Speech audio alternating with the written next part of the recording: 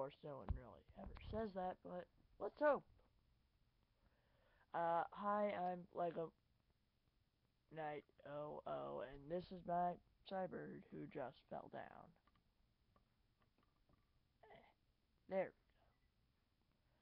we go. Uh, he is my latest creation, and is that claw feet. Could have done solid feet, but uh, he's a bird, so I decided to go with claws.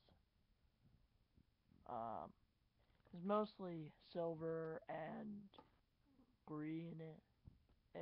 I I'd call it green. But anyways, so got nice solid wing piece here, but he can he's got full movement in here, here, and here. And then he's got uh piece here that allows him to have full movement here and here. And then he has uh, double bend uh, legs, so he's got full movement here. Uh, limited movement here because it's a lower upper leg to lower leg piece. Full movement here though because it's lower leg, lower leg. And then full movement down in his foot. Same with the other side. He has a nice large armor piece right there.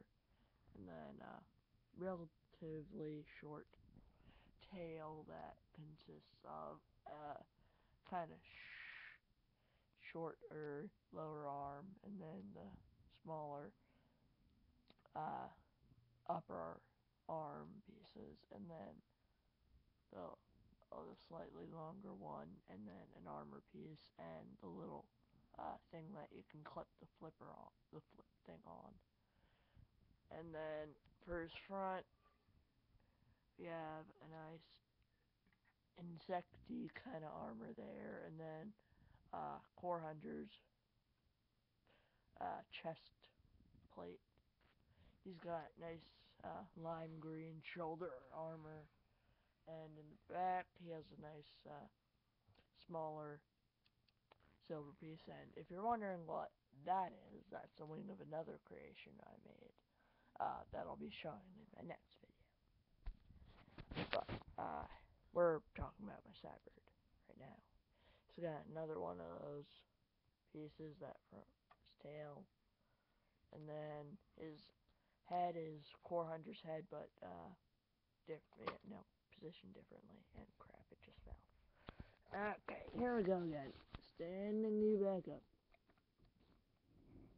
Up you go. Thank you.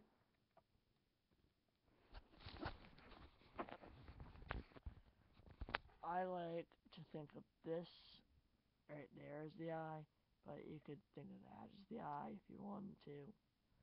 Um, doesn't really have a mouth or or anything. So I don't know how to eat or anything.